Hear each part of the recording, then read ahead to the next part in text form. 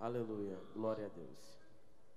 Quero aqui estar deixando uma mensagem para o seu coração que se encontra no Evangelho de João,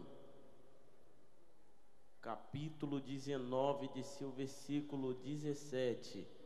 E levando ele a cruz, e levando ele as costas a sua cruz, saiu para o lugar chamado Calvário que em hebraico se chama Golgatá, onde o crucificaram, e com ele outros dois, um de cada lado, e Jesus no meio. E Pilato escreveu um título e pô-lo em cima da cruz, e nele estava escrito: Jesus Nazareno, Rei dos Judeus. Meus irmãos, vamos ver agora uma mensagem que chama muito a nossa atenção. A Bíblia vai dizer é, que Jesus ele agora está indo para o Calvário para ser, aleluia, crucificado. Aleluia, eu entendo agora que no momento de dor e sofrimento, Jesus ele não desistiu porque ele sabia que ele estava na terra para cumprir uma missão.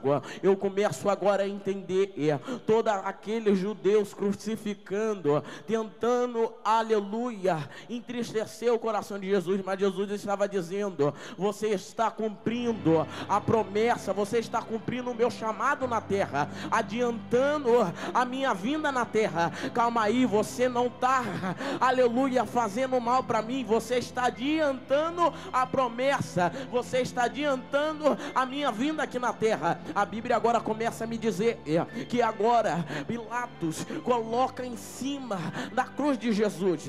Jesus, rei do judeu.